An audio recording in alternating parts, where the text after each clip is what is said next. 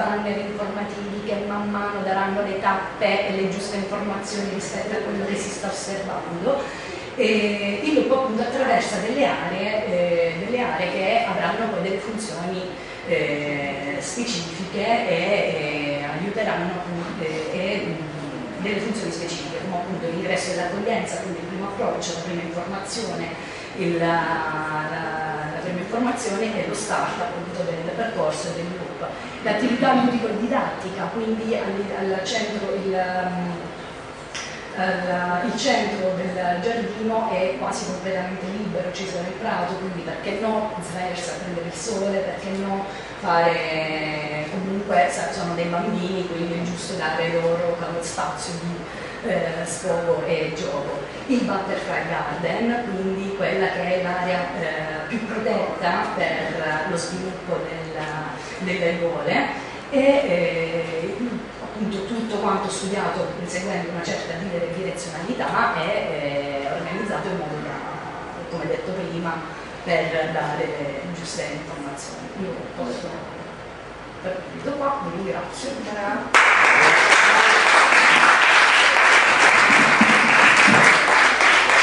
Ci sono delle domande, fatele tranquillamente e può piacere per sempre, come no, non è vero. E se non ci sono domande possiamo passare invece all'intervento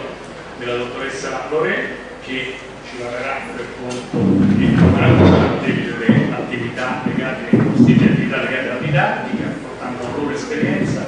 che è già consistente su queste cose. La invito a sedersi, la aiuto a trovare tutto,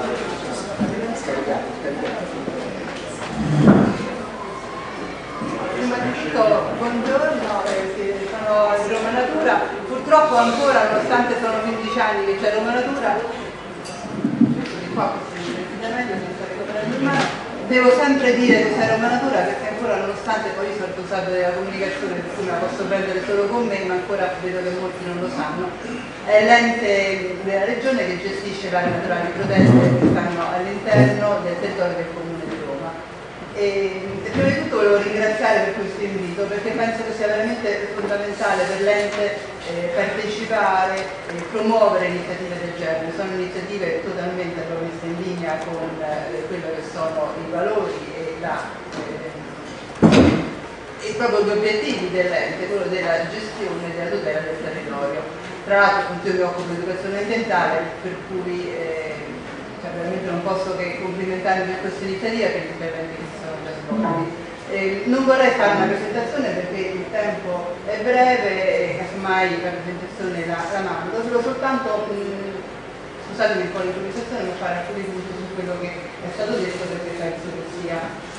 forse anche più interessante. Eh, questa è la prima slide che si mette sempre quando si parla di educazione ambientale e sicuramente non devo stare qui a ribadire eh, che un'azione dell'uomo provoca cambiamenti nella natura, se siete qui lo sapete molto meglio di me. Però se eh, sicuramente eh, è accettato, ormai insomma è dato per scontato a livello di ambiente naturale, eh, forse ce lo scordiamo un pochettino a livello di ambiente sociale eh, anche, anche nell'ambiente tutto quanto è connesso, anche quello che noi facciamo, anche le nostre idee, anche i nostri progetti. Eh, prima diceva il segretario una cosa che mi sono appuntata perché era molto importante. Nascono tanti progetti e una delle cose veramente eh,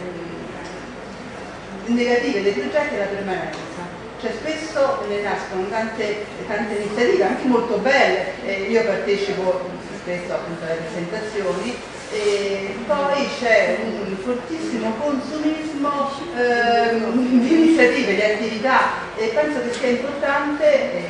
giusto anche fare rete eh, scusate, dico è importante fare rete, partecipare a queste iniziative proprio perché eh, dobbiamo imparare forse che oltre che una sostenibilità ambientale esiste anche una sostenibilità personale, sociale, nel senso che non possiamo sprecare le risorse eh, per fare molte iniziative e poi buttarle lì, oppure sprecare esperienze importanti già realizzate e poi dover sempre ricominciare da capo. E,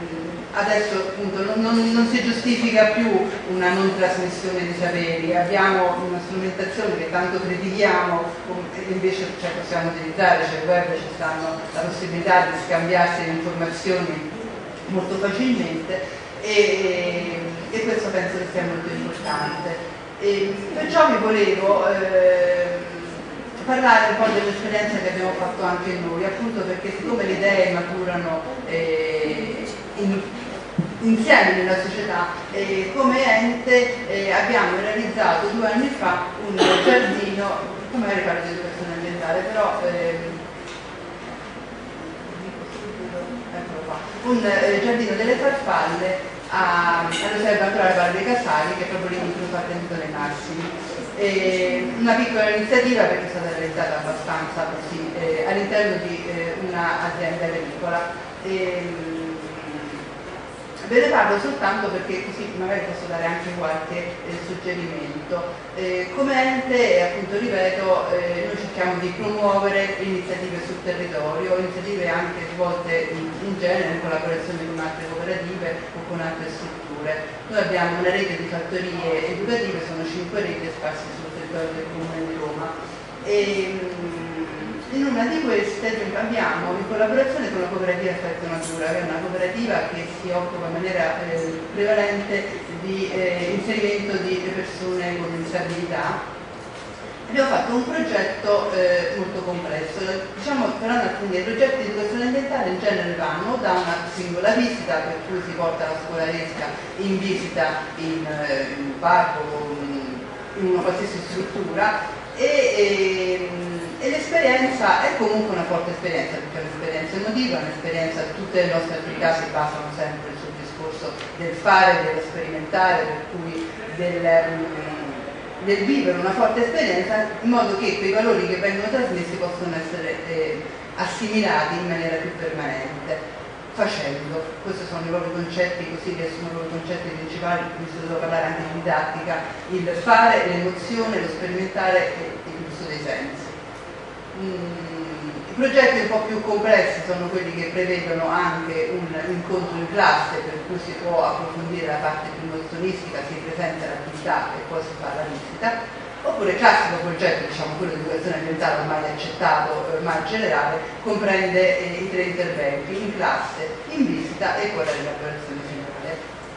Poi abbiamo questi ultimi progetti che sto facendo sempre di più e che sono quelli veramente vincenti, perché ehm, è importante sì che i ragazzi eh, vivano nuove esperienze, nuove sensazioni, però queste emozioni vanno poi rielaborate in classe, cioè nuove, nuove, esperienze vanno assimilate e inserite nel contesto cognitivo più generale per eh, cercare di provocare proprio dei cambiamenti. E per cui ci stiamo rivolgendo sempre di più anche a corsi di formazione per insegnanti questo progetto in maniera particolare eh, abbiamo iniziato invitando le scuole che volevano partecipare alla realizzazione dei giardini delle farfalle. Hanno aderito eh, alcune scuole abbiamo scelte sei privilegiando quelle con eh, molte persone con handicap eh, dentro perché eh, ci sembrava il giardino delle farfalle un'esperienza particolarmente ehm, interessante proprio per ragazzi con disabilità cognitive e poi faccio vedere tutti fatto apposta, l'abbiamo fatto in una scuola di, ehm, in sordomuti ed è stata un'esperienza veramente fantastica, perché poi quando riescono a queste esperienze ti danno proprio, cioè, gli operatori stessi sono usciti fuori che erano entusiasti, perché eh, essendo molto, le farfalle molto colorate, molto... Ehm, attiravo moltissimo i bambini, cioè, l'esperienza andava di sé, bisognava neanche troppo lavorare, notte troppo e, allora, queste, queste, sei eh, scuole sono state prima, abbiamo fatto cinque incontri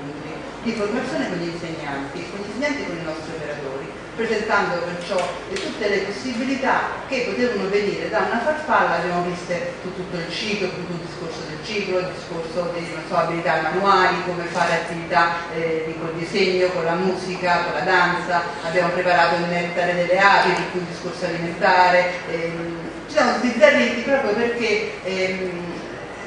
tutte le nostre attività si basano sul discorso della ricercazione, cui da uno stimolo, da una realtà, cercare poi dopo di esplorare e di farne uscire fuori eh, tante che potessero interessare. I bambini sono travestiti, hanno fatto moltissimi cartelloni, tutte le scuole nostre sono piene di farfalle fatte con i cartoni fatte in tutte le maniere e abbiamo proposto di eh, realizzare i giardini delle farfalle nelle scuole, proprio perché appunto le idee nascono sempre insieme, anche noi volevamo promuovere il discorso della rete dei giardini, dei terrazzi, dove è possibile, per cui abbiamo invitato poi anche i genitori a scegliere alcune piante e dove è possibile che abbiamo gli aletta, che abbiamo terrazzo, così, cercare di, eh, favorire il, queste soste che abbiamo detto, queste soste delle farfalle. E,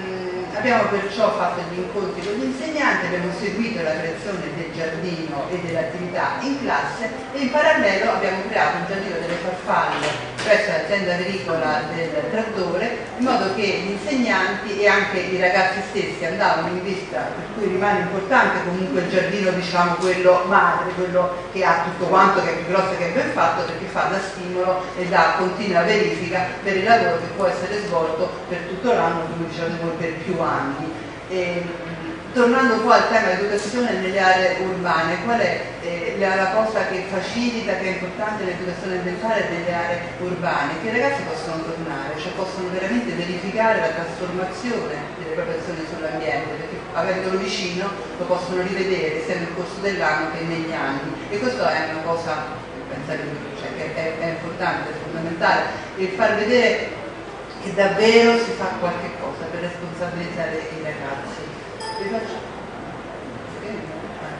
Eh, vabbè, questo qua è il progetto appunto che vi ho detto e questi sono appunto i cartelli e abbiamo fatti utilizzando questo con la collaborazione della cooperativa Effetto Natura che è specializzata appunto nel discorso del linguaggio, è un linguaggio standard eh, per ragazzi con difficoltà eh, mentali eh, perché si può leggere. E tra l'altro è molto carino anche perché visto che ormai secondo me andremo avanti tutti quanti a questo livello ormai la suite non le leggiamo perché abbiamo fretta perché vediamo solo le immagini la nostra nuova modalità di scrittura. E, ed effettivamente ecco un altro non è venuto vabbè peccato n'erano di più. E, poi ecco, sempre per ritornare al discorso come le idee maturano, io prima scrivevo programmi per la televisione e la SIAE si raccomandava, ci raccomando come hai un format, depositalo subito eh, perché le idee non è che si copiano, ma nascono insieme. Cioè, ce sta, io ne ho trovate mille di citazioni, perché facendo queste cose ce n'erano mille, poi alla fine ho scelto questa e, e, per cui vuol dire che insomma siamo, siamo in rete anche non sapendolo e, e cioè faccio il discorso, anche il discorso che adesso in tempo non è, che però eh, del simbolismo, dell'importanza delle farfalle che noi abbiamo affrontato nei miti, nelle leggende, nella cultura orientale, nelle culture per cui se le possono fare vive, si può fare un discorso veramente multidisciplinare con la letteratura, dove ci stanno ragazzi che vengono, eh, ormai le classi sono multietniche e le farfalle eh, forse nei paesi orientali sono ancora più studiate da noi, per cui si può utilizzare anche la loro esperienza invitandoli a partecipare in maniera attiva. Mi scuso se sono stata un po' così frenetica, però ho cercato di dare informazioni in breve tempo, poi sta a voi di elaborarle perché appunto l'educazione ambientale non dà, ma dà soltanto stimoli. È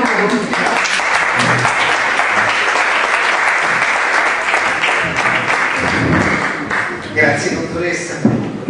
Tra l'altro brevissima, è stata... Sto pure veloce quando parlo, io A questo punto lasciamo la serie, il tavolo della presidenza Aurelio Valentini e...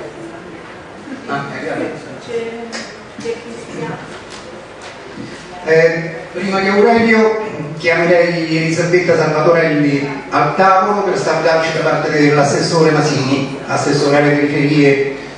e manutenzione urbana.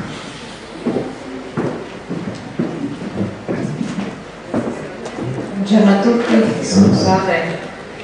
sono riuscita ad arrivare solo, solo ora. Vi porto i saluti dell'assessore Paolo Masini, assessore allo sviluppo delle periferie, infrastrutture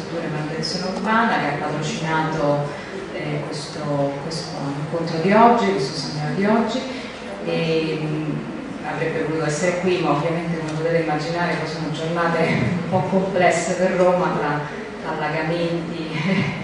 e problematiche varie, purtroppo è una città sempre in preda alle emergenze, quindi eh, vorremmo volare alti come le farfalle, ma a volte insomma le emergenze ci riconducono un pochino più su, sul suolo, diciamo, in questo senso, è vero, senso e, comunque con molto piacere eh,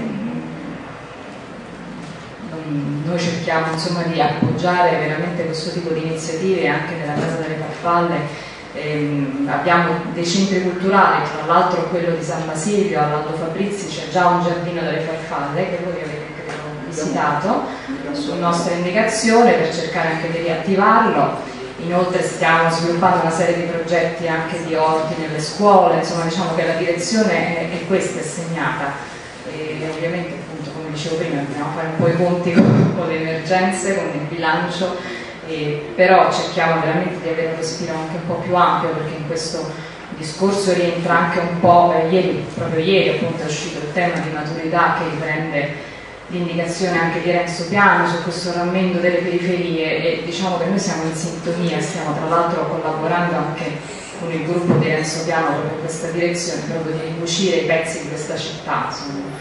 E, e la natura entra in maniera prepotente in questa città, essendo una città verdissima, insomma, il comune agricolo più grande d'Europa, in questi ampi spazi verdi che sono purtroppo difficili da, da mantenere dal punto di vista amministrativo, ovviamente con dei costi veramente eh, in questo momento purtroppo non sostenibili. Quindi trovare anche forme eh, ovviamente eh, diverse che partono dal basso, quindi di adozione delle aree verdi, si sta lavorando anche insieme all'assessore dell'ambiente in questa direzione, quindi tutte le iniziative che cercano appunto di ricucire anche la parte selvaggia della città, non bisogna anche di questo, no? di ricucire insomma, questo rapporto con la natura che si va sempre più sfilacciando, credo anche nelle... ho sentito un piccolo pezzettino del, dell'intervento precedente sull'educazione nelle scuole, no? bisogna abituare anche i bambini ad avere un contatto con natura, con questa natura che non è una natura matrigna, ma insomma una natura dietro casa che può costituire anche un'aula a cielo aperto, insomma, nelle aule scolastiche, ma insomma cercare veramente di riavvicinarsi per contrastare questo fenomeno il deficit anche di natura, di cui si parla moltissimo, non so se avete sentito parlare, insomma, eh, deficit di natura de, delle nuove generazioni che si allontanano appunto dagli ambiti naturali, dal contatto con la natura con tutte le conseguenze, perché se dobbiamo formare una classe dirigente del futuro eh, che abbia a cuore anche il patrimonio naturale, forse tocca cominciare veramente a lavorare in maniera eh, più incisiva nelle scuole in questa direzione, quindi i giardini delle farfalle o eh, comunque questo tipo di iniziative vanno in questa direzione, veramente per riconnettere mondo, la città urbana con, eh, con, la natura che ci circonda, che appunto non è una natura di cui abbiamo, avere paura. Io vedo tante famiglie che lavorano anche degli insetti, no? forse veramente lavorare veramente fargli capire che gli insetti non sono colpa delle madri di, questo, di, questo, sì, di questa generazione iperprotettiva nei confronti delle, delle nuove generazioni che impedisce però appunto poi una sperimentazione no, con, con, il mondo naturale, con la diversità insomma, animale, vegetale o quello che sia, insomma, quante volte sentiamo dire dalle mamme la terra è sporca, no? non ti sporcare, vai in giardino ma non ti sporcare, invece tornare veramente con le mani nella terra no? sarebbe, sarebbe, molto educativo e formerebbe insomma, diciamo, queste le nuove generazioni gli anticorpi, sì, è vero, le pubblicità ci massacrano no? con disinfetta qui, disinfetta lì, no? poi alla fine siamo tutti allergici, no? i bambini di oggi sono tutti allergici con le asini, eccetera, non a caso insomma. Quindi io ascolterò l'ultima da tavola rotonda adesso, cioè, molto volentieri, poi se volete insomma sono a disposizione per qualsiasi tipo di informazione, insomma, per uno scambio. Grazie. Grazie. Lascio direttamente il tavolo a Aurelio che così potrà invitare gli altri ospiti qui. Allora, mi presento, sono Aurelio Valentini dell'Albo degli Agrotecnici, di cui sono segretario qui a Roma. Eh, adesso abbiamo un compito importante perché abbiamo sentito delle parole magiche, mi sembra, che si sono ripetute spesso durante tutte quante le vostre relazioni eh, giornata. Sono fare rete, biodiversità e didattica. Mi sembra di aver capito queste tre cose. Adesso cercheremo di applicarle in qualche cosa di concreto, dove ci sono delle regole, eh, perciò un regolamento che, che il Comune di Roma vorrebbe approvare, no? e quindi applicarle all'interno di questo regolamento. Cosa significa? Invito qui eh, Ilaria Rossitoria era con noi, eh, poi Cristiana Mancinelli Scotti di Salviamo il Paesaggio, c'era. Il dottor Milito dell'Arco degli Agronomi, non so se Giorgio Osti vuole anche venire il comitato di carbone per la fotografia. Che abbiamo iniziato un percorso, diciamo, eh, questo affare rete l'abbiamo applicato, insomma, a suo tempo, eh, creando diciamo, insieme una proposta di regolamento che abbiamo portato all'amministrazione del Comune.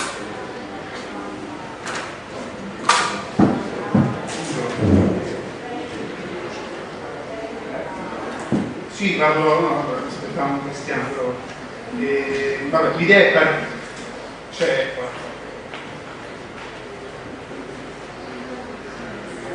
Allora, siamo partiti da, da un presupposto, insomma l'amministrazione, la scorsa diciamo, eh, amministrazione voleva portare eh, un, un, regolamento diciamo, all'attenzione del Comune di Roma, perché sono 40 anni, se non di più, e forse il dottor Mirko sa meglio di me quanto tempo diciamo, questa proposta no, di, eh, di creare un regolamento del verde che che sembra qualcosa di molto sterile, no? perché ci sono delle regole, in realtà sono delle, eh, delle, proprio il nutrimento no? del, eh, per, per, gestire il verde a Roma. Ecco, questo regolamento diciamo, è stato prodotto in una maniera